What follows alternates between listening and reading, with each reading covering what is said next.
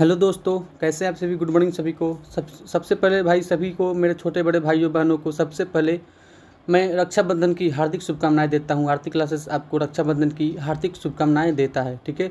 तो आज हमारा थर्ड वीक चालू हो गया है और थर्ड वीक का आज हम डे फ़र्स्ट है, जिसमें हम जीके और करंट अफेयर को कवर करने वाले हैं, ठीक है साथियों?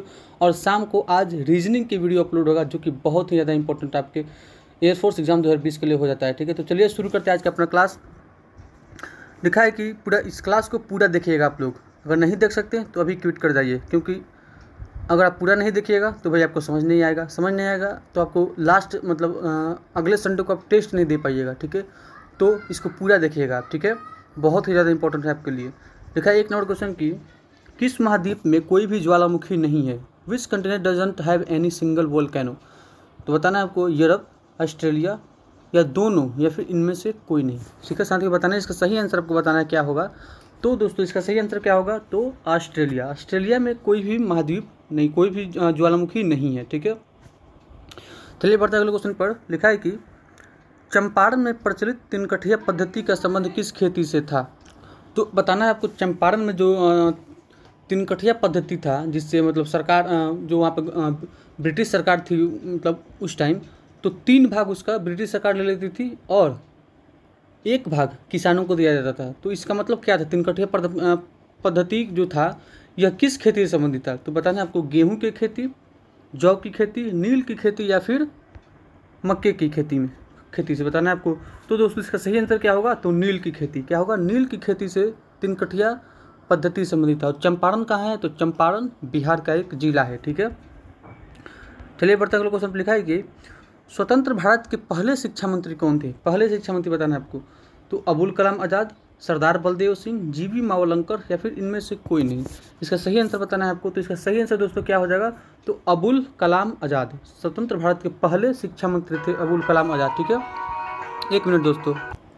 प्रॉब्लम के लिए माफ़ी चाहता हूँ दोस्तों। तो मैं बता रहा था कि स्वतंत्र भारत के पहले शिक्षा मंत्री कौन थे? तो अबुल कलाम आज़ाद थे, ठीक है? और ये लिखा है सरदार बलदेव सिंह। तो सरदार बलदेव सिंह पहले शिक्षा मंत्री थे, पहले शिक्षा मंत्री थे, ठीक है? इनको ये क्वेश्चन पूछा गया है। स्वतंत्र भारत के पहले शिक्षा मंत्री कौन थे? तो सरदार बलदेव सिंह। अब हो सकता है कहीं ये पूछ दे आपकी बात तो आप इसको याद रखिएगा ठीक है? चलिए बढ़ते अगले क्वेश्चन पर लिखा है कि चटगांव शस्त्रागार डकैती से संबंधित क्रांतिकारी कौन था? Who are the major revolutionary related to Chittagong? आरमोड़ी, ठीक है? तो भगत सिंह बटुकेश्वर दत्त वल्लभ भाई पटेल या फिर मास्टर सूर्य सेन। तो इसका सही आंसर बताना है, आपको चार नंबर का सही आंसर बताना है आपको।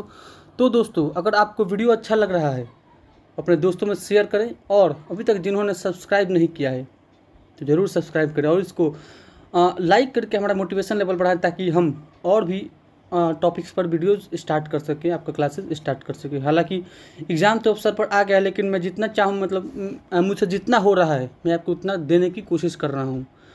अगर आप लोग मेरा साथ दीजिएगा तो मैं और अभी ज़्यादा कुछ देने की कोशिश करूँगा ठीक है? तो चलिए इसका सही आंसर बताना आपको। तो इसका सही आंसर क्या हो जाएगा? मास्टर सूर्य सेन कौन थे? मास्टर सूर्य सेन चटगांव शस्त्रागार डकैती के आ, इसका क्रांत मेन क्रांतिकारी थे ठीक है? चलिए बढ़ते अगले क्वेश्चन पर लिखा है कि कांग्रेस के उन्नीस सौ उनतीस के लाहौर अधिवेशन की अध्यक्षता किसने की थी? बहुत ही ज़्यादा इंपॉर्टेंट क्वेश्चन है। मतलब कांग्रेस से क्वेश्चन पूछता रहता है, ठीक है? हम हमेशा क्वेश्चन पूछता रहता है इससे तो who presided the over the nineteen twenty nine Lahore session of the Congress Motilal Nehru, Mahatma Gandhi, Jawaharlal Nehru या फिर जयप्रकाश नारायण, ठीक है? तो पाँच नंबर से आंसर बताना है आपको। तो दोस्तों, पाँच नंबर से आंसर क्या हो जाएगा? तो महा, जवाहरलाल नेहरू जवाहरलाल नेहरू उन्नीस सौ उनतीस के लाहौर अधिवेशन की अध्यक्षता की थी, ठीक है? चलिए बढ़ते अगले अगले क्वेश्चन पर। लिखा है कि क्रिप्स प्रस्ताव के बारे में किसने कहा कि यह आगे का चेक है? यह किसने कहा? मतलब जब क्रिप्स क्रिप्स प्रस्ताव आया था भारत में तो यह किसने कहा था कि आगे का यह चेक है? ठीक है? तो who set the Cripps proposal that यह आगे का चेक है? महात्मा गांधी, सुभाष चंद्र बोस, सरदार पटेल या फिर रास बिहारी बोस? तो इसका सही आंसर बताना आपको छः नंबर का सही आंसर बताना है दोस्तों। तो इसका छः नंबर सही आंसर क्या होगा? तो सुभाष चंद्र बोस, सुभाष चंद्र बोस इसका सही आंसर हो जाएगा, ठीक है? तो चलिए अगले क्वेश्चन पढ़ते हैं। सात नंबर क्वेश्चन लिखा है कि भारत का नियंत्रक एवं महालेखा परीक्षक किसके द्वारा नियुक्त होता है?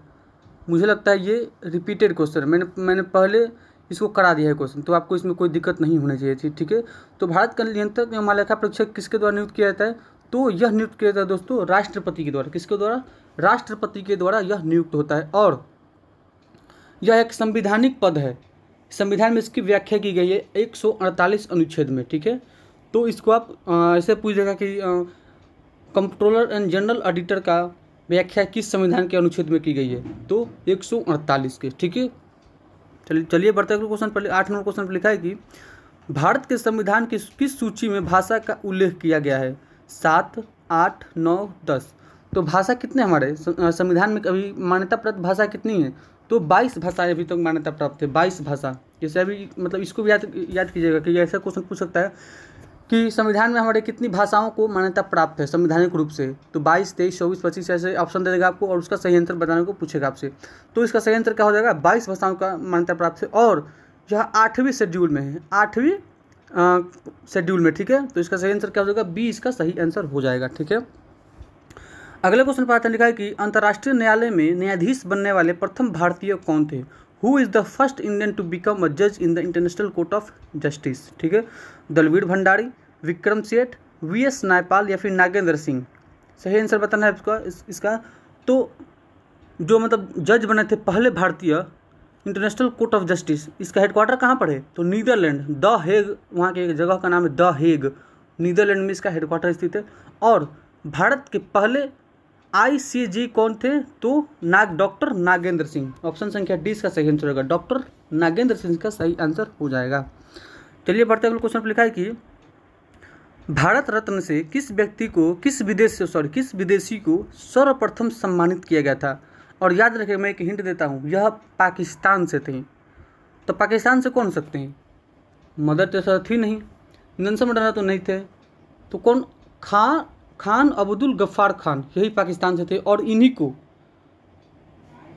भारत रत्न से सम्मानित किया था। सर्वप्रथम किसी विदेशी को ठीक है? तो आज का हमारा जीके का पोर्शन कंप्लीट हो, हो चुका है दोस्तों। तो कैसा लगा हमारा जीके का क्वेश्चन जो कि लेवल एकदम आपके एयरफोर्स एग्ज़ाम के जैसा ही है ठीक है? तो कैसा लगा ये क्वेश्चन कमेंट बॉक्स में ज़रूर बताइएगा। तो चलिए हम इसके आगे बढ़ते हैं जो हम देखेंगे करंट अफेयर ठीक है? करंट अफेयर कल का और परसों का क्योंकि परसों कल का हमारा क्लास नहीं होती और आज का क्लास नहीं होती ठीक है?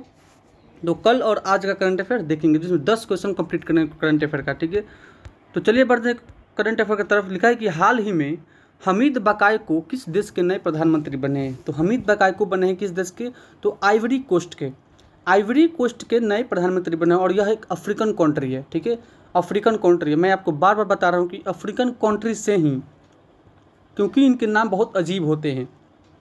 और इन्हीं से ही क्वेश्चन पूछ सकता है कि इस देश के प्रधान प्रधानमंत्री कौन बनाए या फिर इस देश की मुद्रा क्या है? तो आइवरी कोस्ट की मुद्रा क्या होती है? फ्रैंक इसकी मुद्रा हो जाती है और एक अफ्रीकन कंट्री है, ठीक है? अगले क्वेश्चन पर लिखा है कि दो बार मुस्लिम सॉरी पहली बार मुस्लिम महिला अधिकार दिवस कब मनाया गया? तो पहली बार कब मनाया गया? तो मनाया गया यह एक अगस्त को। एक अगस्त को ही क्यों मनाया गया ये? क्योंकि पिछले साल एक अगस्त को ही ट्रिपल तलाक सुप्रीम कोर्ट के द्वारा रद्द कर दिया गया था, ठीक है? तो पहली बार मुस्लिम महिला अधिकार दिवस इसी के रूप में मनाया जा रहा है एक अगस्त को, ठीक है? अगले क्वेश्चन पर आते हैं, तीन नंबर क्वेश्चन पर लिखा है कि बीस दो हज़ार बीस में विश्व स्तनपान सप्ताह से स्तनपान सप्ताह कब से कब तक घोषित किया गया? मतलब कब मनाया जाएगा, ठीक है? तो यह माना जा रहा है दोस्तों, एक अगस्त से सात अगस्त 2020 तक। मतलब अभी आज तीन अगस्त है मतलब एक अगस्त से शुरू होकर और सात अगस्त तक यह चलेगा विश्व स्तनपान सप्ताह दिवस। बहुत ही इंपॉर्टेंट क्वेश्चन है ये, ठीक है? अगले क्वेश्चन पाते लिखा है कि काजी ओनिक किस देश के क्रिकेटर हैं, जिन पर दो साल का बैन लग गया है? तो बैन कौन लगाता है? तो नाडा लगाता है। नेशनल वाडा सॉरी वाडा लगाता है वाडा। वर्ल्ड एंटी डोपिंग एजेंसी मतलब डोप जो भी डोपिंग करते पकड़ा जाता है जैसे कि कोई नशीली दवा लेते पकड़ा जाता है खेल में या फिर कोई बैन चीज़ जो कि जो कि नहीं करना है खेलते समय उसको लेते हुए पकड़ा जाता है तो वाडा ने मतलब वर्ल्ड एंटी डोपिंग एजेंसी विश्वरोधी डोपिंग एजेंसी उसको आ, उस पर बैन लगा देता है ठीक है? तो यह कौन देश के क्रिकेटर हैं जिनको काजी ऊनी के नाम ये? तो यह बांग्लादेश क्रिकेटर ठीक है? जिन पर दो साल का अभी क्रिकेटर पर क्रिकेट खेलने पर बैन लगा दिया गया है, ठीक है? अगले क्वेश्चन पर आता लिखा है कि जीवाणुरोधी प्रतिरोध अनुसंधान विकसित करने के लिए भारत ने किस देश के साथ समझौता किया है? तो जीवाणुरोधी प्रतिरोध विकसित अनुसंधान, ठीक है? तो यह किया है किसके साथ? भारत ने? तो ब्रिटेन के साथ यूके के साथ, ठीक है? ब्रिटेन के साथ भारत ने जीवाणुरोधी प्रतिरोध अनुसंधान विकसित करने की घोषणा की है या फिर समझौता किया है, ठीक है? छठे नंबर क्वेश्चन पर लिखा है कि हाल ही में किस राज्य में ग्रीन एजी परियोजना शुरू की गई है? ग्रीन एजी परियोजना। तो यह शुरू की गई दोस्तों मिजोरम में। कहाँ पर? मिजोरम में शुरू की गई है, ठीक है? सातवें नंबर क्वेश्चन पर लिखा है कि विश्व की सबसे बड़ी परमाणु संलयन परियोजना कहाँ स्थापित किया जा रहा है? तो यह दोस्तों स्थापित किया जा रहा है कहाँ पर? तो फ्रांस में स्थापित किया जा रहा है। कहाँ पर? फ्रांस में स्थापित किया विश्व की सबसे बड़ी परमाणु संलयन परियोजना। ठीक है? दोस्तों, इसका पीडीएफ मैं इंग्लिश में नहीं टाइप करा पाया। अगर मैं शाम तक पीडीएफ देता हूँ आपको तो यह इंग्लिश में टाइप रहेगा। ठीक है? इसमें इंग्लिश मेंशन रहेगा। ठीक है? तो आप लोग टेंशन मत लीजिएगा, मैं इसको इंग्लिश में टाइप करा कर ही आपको दूँगा। आप लोग बिल्कुल टेंशन मत लीजिए। ठीक है?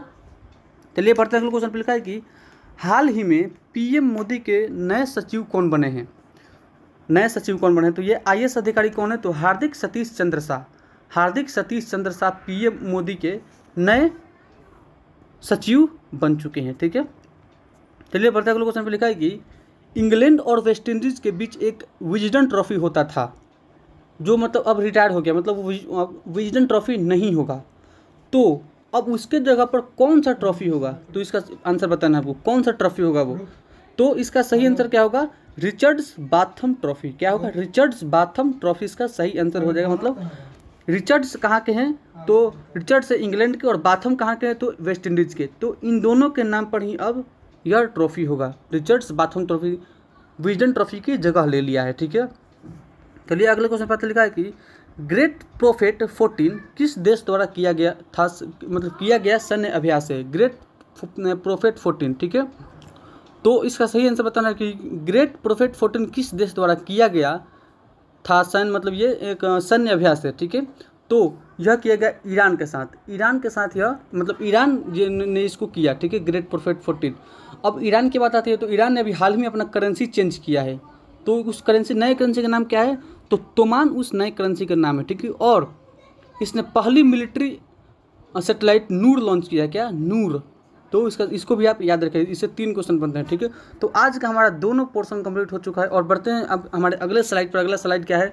जो कि very very congratulation to Devendra Rajput, Saurabh अवाट्रक Ankit Raj और अभय कुमार शर्मा, ठीक है? अभय शर्मा, जिन्होंने सही आंसर देकर आज का क्लास अपने नाम कर लिया ठीक है? तो आप भी इनके जैसा बनिए और आज का पूछे गए क्वेश्चन का आंसर दीजिए। ये भी इनको क्वेश्चन ये था कि अंतर्राष्ट्रीय बाघ दिवस कब मनाया गया? तो अंतर्राष्ट्रीय बाघ दिवस मनाया गया उनतीस जुलाई को। तो इन्होंने बिल्कुल सही आंसर दिया इन चारों ने।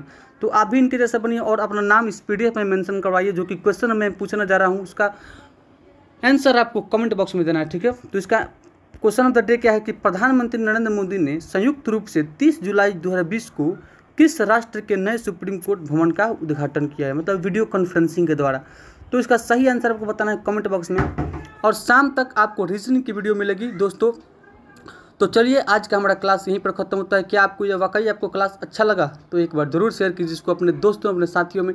और अपने संबंधित किसी भी अपने व्हाट्सएप स्टोरी पर लगा लीजिए या फिर अपने फेसबुक स्टोरी पर लगा लीजिए, कहीं भी लगा लीजिए, लेकिन एक बार इसको शेयर ज़रूर कीजिए, क्योंकि आपके लिए इतना कुछ किया जाता है। आपसे बस बदले में एक शेयर और सब्सक्राइब मांगा जाता है, ठीक है? तो चलिए साथियों, आज का क्लास हम यहीं पर रखते हैं। तब तक के लिए जय हिंद जय भारत।